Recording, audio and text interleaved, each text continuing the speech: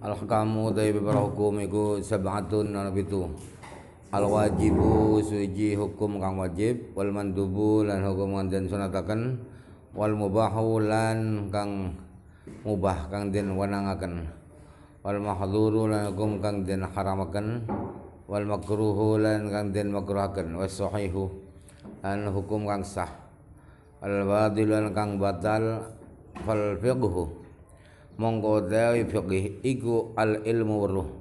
Bi hadhi sab'ati kelan ikilah hukum pitu. Ay ma'rifatu juz'iyyatiha tegese ngaweruhi bira-bira masalah kang bangsa juzi sab'ah ay wajib ay wajibati segi pira kang wajib wal mandubati lan beberapa kanten suratakan wal mahdurati lan beberapa hukum kanten haramakan wal makruhati lan beberapa hukum kanten makruhakan wal fa'ali sahihati lan beberapa kelakuan kang sah. Wal fa'ali badilati lan beberapa kelakuan kang ah, batil. Hukum-hukum itu ada tujuh yaitu wajib sunnah mubah haram makruh eh, sah batal jadi fikih itu adalah tahu tujuh itu. Bukan tahu definisinya, tapi tahu satu persatu. Tahu eh, satu persatu satu dari tujuh itu. Kasus per kasus dari hukum tujuh itu.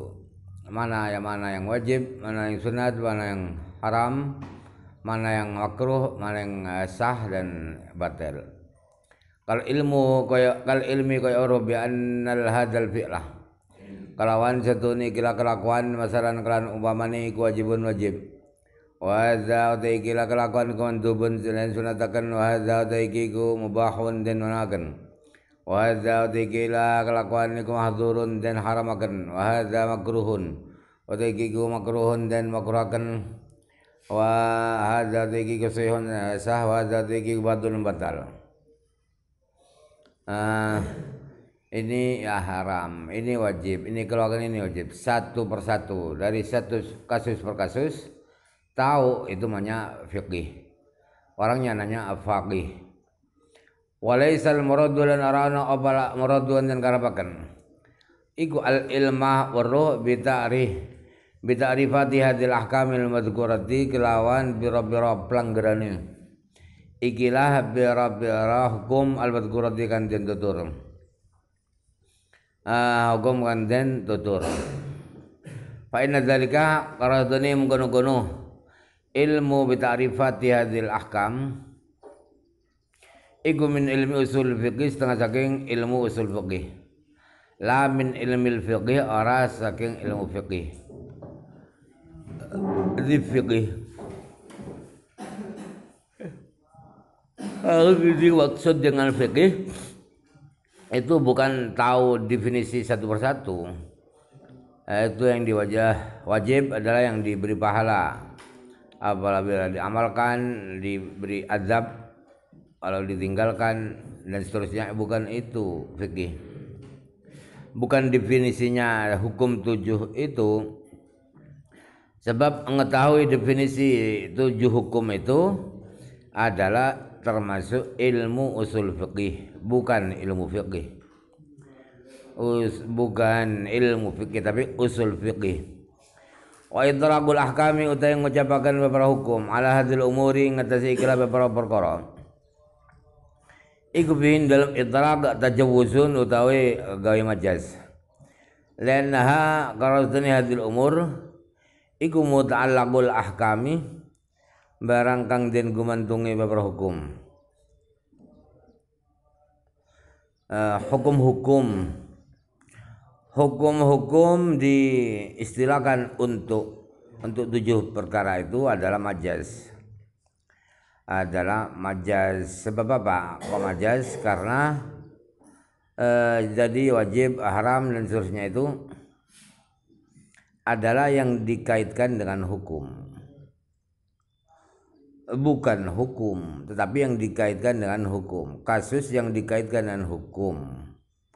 Uh, hukumnya ya tadi ya, wajib sunnah. Uh, kasus uh, hukum di eh, diistilahkan eh, kasus-kasus kejadian ini kejadian ini wudhu sholat tanpa wudhu misalnya. Itu kok diistilahkan hukum maka itu itu badal mahkum alaih mahkum alaih maka dikatakan majas itu majas. Wal ahkamu syar'iyyatu ta hukum kang syara iku khamsatun ana lima. Uh, hiya utai ahkam syar'iyah iku al ijabuh majibakan. Wa nadbu lan yunatakan wa libahatu lan mubahakan. Wal karhatu makruhakan wa tahrimu lan ngaramakan. Wa ja'lul ahkami utai dadi uh, ja'luhul ahkama utawi oleh dadi akan kimusnif al ahkama yang berhukum. Sebatan ing pitu iku istilahun istilah lahu kadhe kimusnif istilah istilah misalnya Imam Haramain eh, kok ada tujuh itu istilah beliau. Istilah ulama yang lain tidak. Waladhi utawi utawi istilah alai kan iku ngatasi alladzi al, al jumhur utai akeh ulama iku adalah kama satune hukum iku khamsatun ana lima la sab'atun ora pitu kalau mayoritas ulama hukum itu hanya lima, bukan tujuh. Yang mahromin ah, menghitung ada tujuh. Kama karena kayak kayak oleh nutur sepengsun ah, ing ahkam.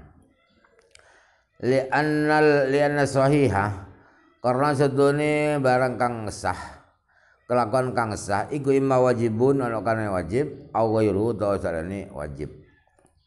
Wal batilu utai barakang batil gudakhirun manjing fil mahduri ing dalam barangan tidak haramakan jadi soheh dan batil mestinya tidak dimasukkan sebatil itu masuk kepada yang mahdur haram kelakuan kalau sudah batal berarti haram.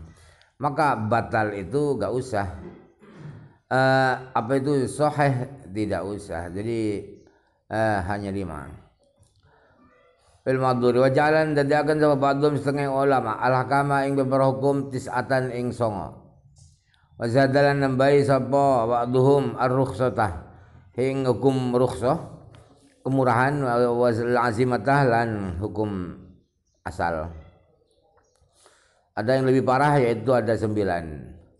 Jadi di samping tujuh itu ditambah dengan rukhsah azimah.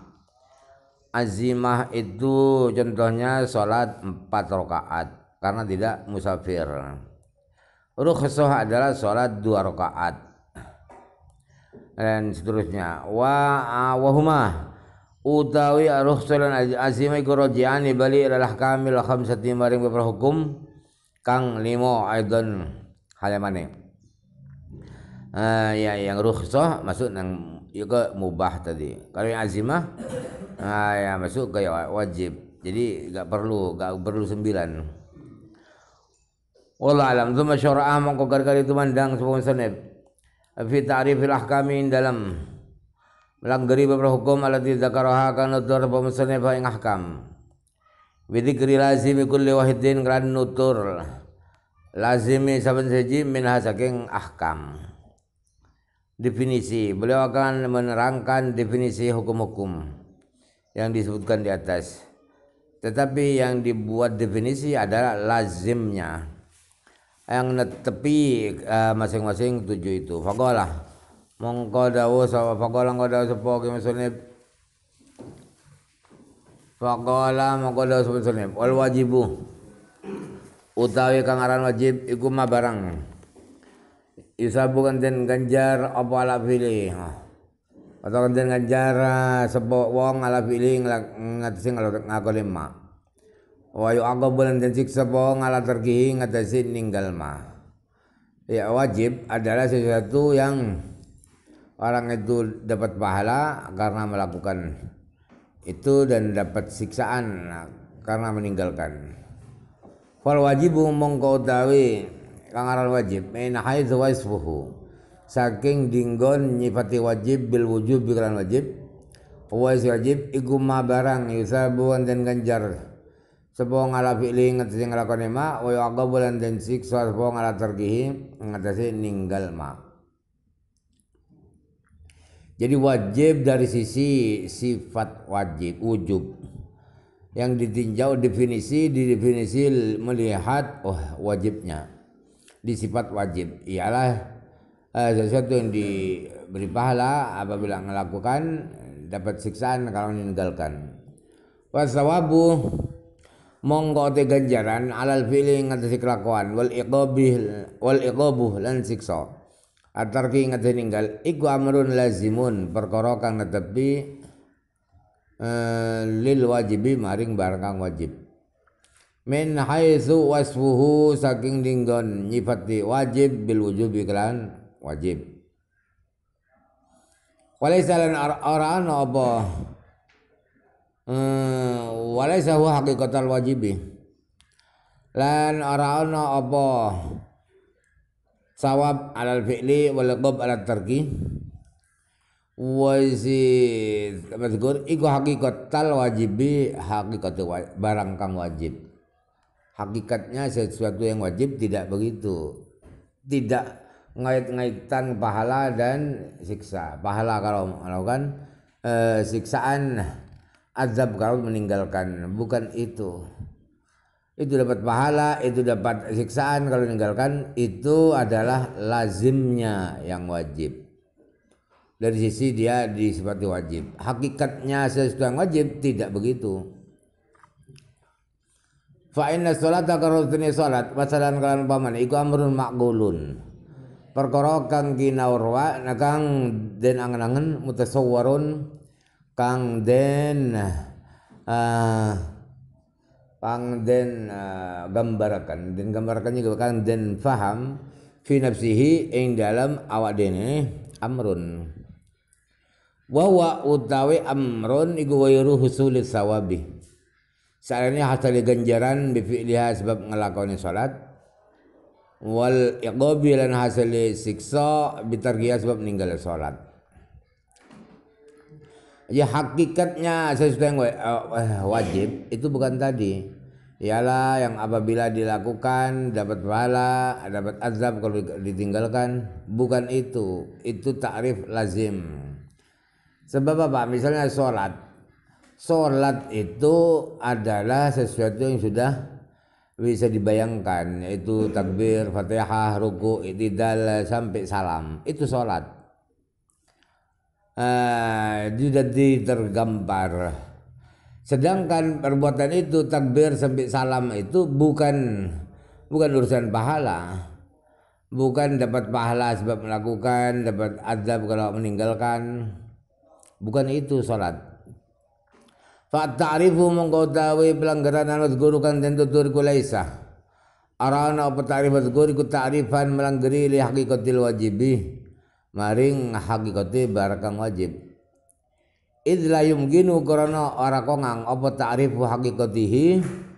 Melanggere eh, hakikate wajib. Ikat tarati asra fil wajibati karena agai bira-bira warna-warnane bira-bira barang kang wajib. Wa ikhtilafi haqaiqiha lan beda-bedane bira hakikate wajibat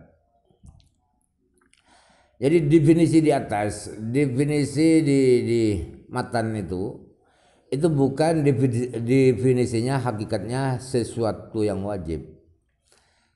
Sebab tidak mungkin mendefinisikan hakikatnya sesuatu yang wajib.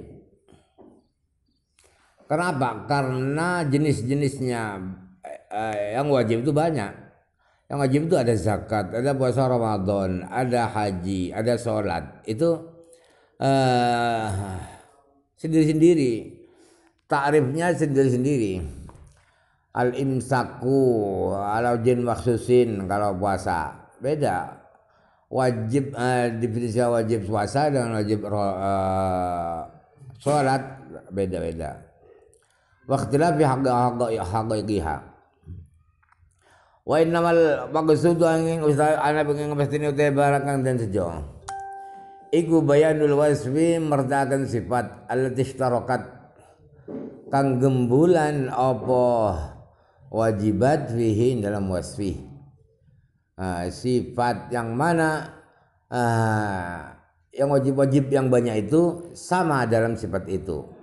Yaitu sama-sama dapat adab kalau ditinggalkan dapat uh, pahala. Kalau nah, itu yang di yang dimaksudkan. Al hatta yasahha. Sehingga sapa sidqu ismil wajibi. Sehingga sapa benderi aranne wajib alaiha ngatasi uh, yang alaiha ngatasi uh, sunafil wajibat. Bahwa padalika oh tenggon kono wasfu alladhi ishtarakat fihi.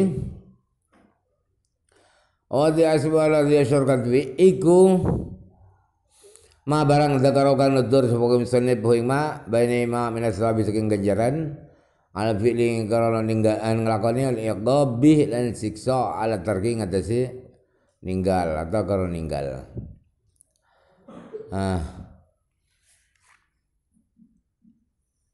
ada wajib salat wajib uh, zakat wajib uh, puasa Ramadan wajib haji wajib itu eh, takrifnya definisinya sendiri-sendiri gak sama.